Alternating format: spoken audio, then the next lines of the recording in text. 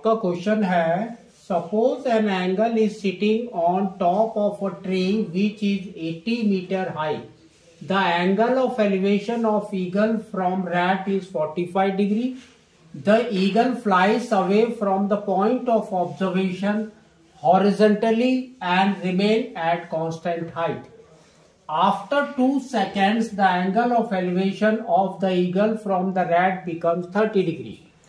Take root three is equal to one point seven three ठीक है?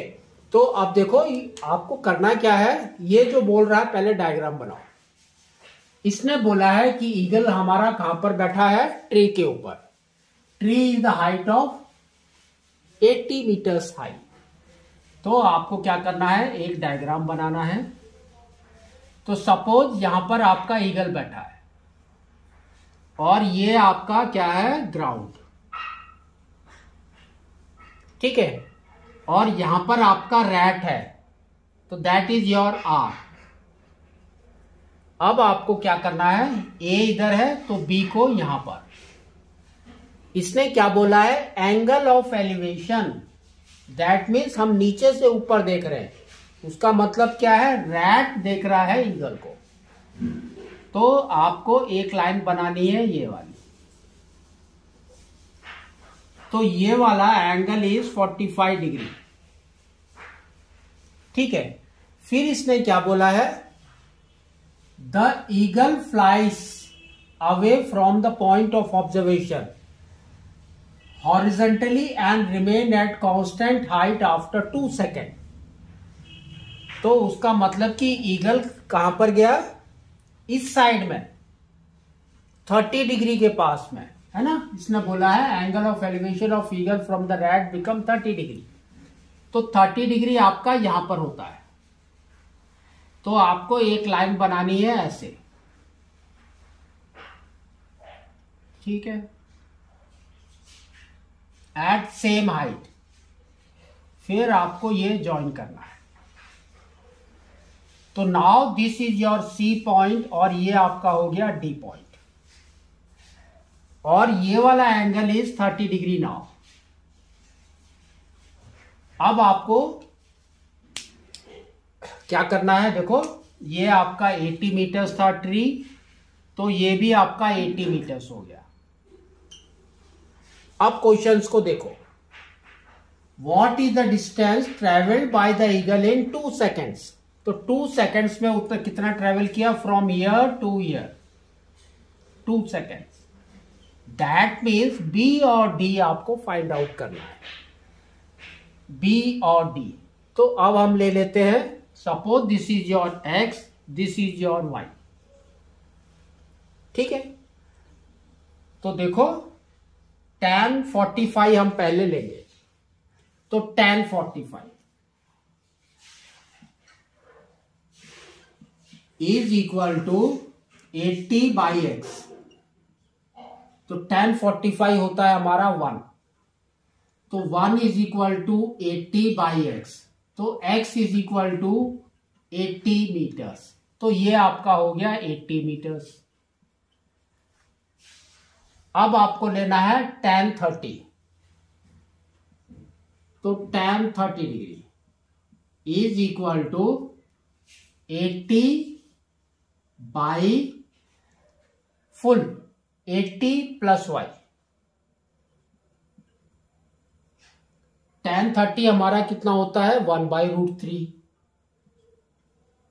Is equal to eighty by eighty plus one cross multiply कर तो y plus eighty is equal to eighty root three. Eighty को right में लेके चले जाओ। तो y is equal to eighty root three minus eighty eighty को common ले लो। तो ये आ जाएगा रूट थ्री माइनस वन अब रूट थ्री की वैल्यू डाल दो वन पॉइंट सेवन थ्री तो 80 into one point seven three minus one that is equal to 80 into zero point seven three इसको मल्टीप्लाई कर दो। तो एट थ्री ज twenty four two carry eight seven जा फिफ्टी सिक्स एंड टू तो fifty eight और यहाँ पर एक ज़ीरो है. और पॉइंट के बाद दो डिजिट्स है. दैट मीन्स वन पॉइंट यहाँ पर आ जाएगा. तो आपका कितना हो गया? वाई इज़ 58.4 मीटर्स तो 58.4 मीटर्स उसने ट्रेवल किया। तो आपका पहला वाला हाफ़ पार्ट गेट्स ओवर यहाँ तक। फिर क्या बोला है इसने? And find the speed of the eagle तो स्पीड हमारा क्या होता है? डिस्टेंस बाय टाइम तो स्पीड क्या हो गया ईगल का? डिस्टेंस इज़ दिस 58.4 और टाइम उसने कितना लिया था? टू सेकेंड्स तो बाई टू तो ये हो गया आपका 29.2 मीटर्स पर सेकेंड तो आपका स्पीड निकल गया। ठीक है? अब देखो नेक्स्ट इसने क्या बोला है सेकेंड क्वेश्चन में? What is the distance between the initial position of eagle and rat? तो इनिशियल पोजीशन हमारा ईगल का क्या था? ए और rat is here that means आपको ये निकालना है। तो ये हम ले लेंगे डी वन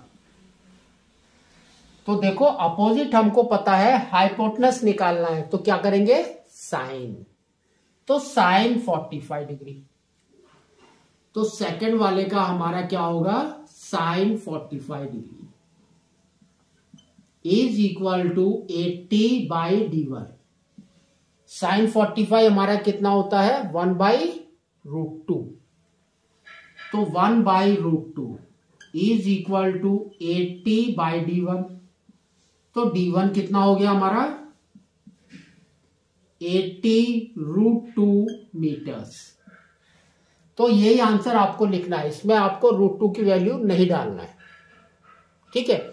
क्योंकि रूट टू की वैल्यू अगर डालना होगा तो they will give here take जैसे यहाँ पर दिया है take root three is equal to one point seven three तो वहाँ पर आपका साथ में और देगा comma root two is equal to something they will give you ठीक है? नेक्स्ट थर्ड क्वेश्चन तो थर्ड क्वेश्चन में उसने क्या बोला है, देखो? What is the distance between the position of eagle after two seconds and rat that means आपको सी और आर निकालना है। तो ये हम ले लेंगे डी टू ठीक है? तो क्या करना है? साइन थर्टी डिग्री तो आपका आ जाएगा sine thirty degree is equal to eighty by D two तो साइन थर्टी कितना होता है? वन बाई टू तो one by two is equal to eighty by D two cross multiply करो तो D two is equal to two into eighty is one sixty meter तो ये आपका थर्ड आंसर फोर्थ में देखो क्या बोला है इसने? What is the angle of depression of eagle from initial point and after two seconds ठीक है? एंगल ऑफ़ डिप्रेशन बोला दैट मीन्स ईगल अब रैट को देख रहा है। तो आपको क्या करना है? एक पैरेलल लाइन बनानी है यहाँ पर और यहाँ पर। तो ये 45 है तो ये आपका 45 हो जाएगा। और ये आपका हो जाएगा थर्टी डिग्री तो that are the angle of depression तो आपका फोर्थ आंसर क्या होगा देखो, क्या बोला है? Angle of depression. Of depression. Of angle, of eagle from initial point.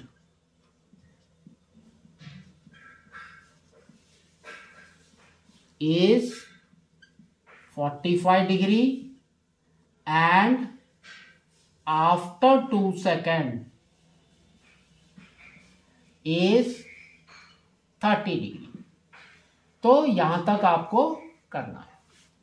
अगर आप इतना करेंगे you will get four marks ठीक है? तो इसमें और भी दिया होगा। तो जो और होगा, दोनों में से एक करना है। ठीक है?